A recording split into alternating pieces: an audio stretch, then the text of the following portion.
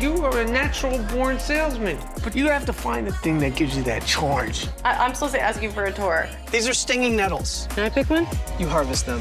Got it. Use it in a sentence. I should have harvested my eggs. Hey guys, Jim Halterman, TV Guide Magazine and TV Insider. Nice to see you both. You um, too. You, Jim. I'm watching these episodes, and Amy, I'm having my own childhood flashbacks watching Beth's childhood flashbacks. Yes. Is that is that what you were going for? Because it's a really effective piece, though, to really get inside this character, and your heart breaks a little bit for what this young girl has gone through. That is so encouraging to hear. That is what I want. Like by making it really personal and specific, I was hoping that people would would connect to it and and think about their own teenage years. So that's incredible to hear. Okay. Well, we see that Beth, either young Beth or current day Beth, gets some wins in her life because what I'm watching, like she's taken a lot of knocks, at least in the first half of the series. What do we see moving forward beyond that?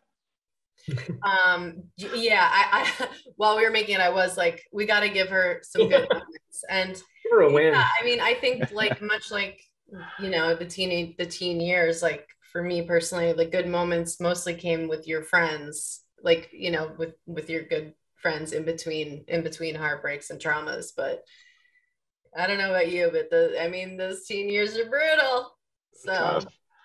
They're tough. Michael, did you have any?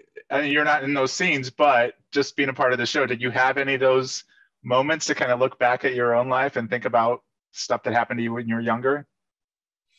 Uh, I think kind of you're if you're a if you're a somewhat even somewhat introspective person, you're doing that often and evaluating, you know, what what's going on inside of you and where it comes from maybe. And uh you know how much of it is within your control or not. Yeah it all comes from childhood. Michael you told me that you never had a bad day. Still good it's just trying to keep it going. Yeah. Doing great so far. Just a good okay. they're always also in the episodes i've seen i've seen the half of them so i still have the other half to go but i'm rooting for beth and john. I like them together but it, they seem to kind of be just off off kilter a little bit. Like things go well, then they kind of go off. But can you talk about just first what what attracts them to each other? Like, Amy, what is what what does Beth see in him? I think he's different than anyone Beth's ever met before. Um, I think people are so performative in their um, in their way of dealing with each other and sort of how they represent themselves. I think it's really disarming to her to meet someone who's so honest and um, you know doesn't like there's there's no inner monologue that's different from what he's saying. And i think yeah i think it just disarms her and and winds up being really appealing but but also can be a little jarring. And so yeah you're going to see more of those moments where they have a little bit of trouble communicating Okay. And Michael, how was how was it for you to play that? To play a character that's so honest and just says what he thinks, whether it's a little on the mean side sometimes, or at least just brutally honest. But how was that for you? I really like that. I mean, it's true. Sometimes things can uh, be received as you know mean, even though I, it feels like with a person like John, uh, who reminds me of a lot of people that I know in life.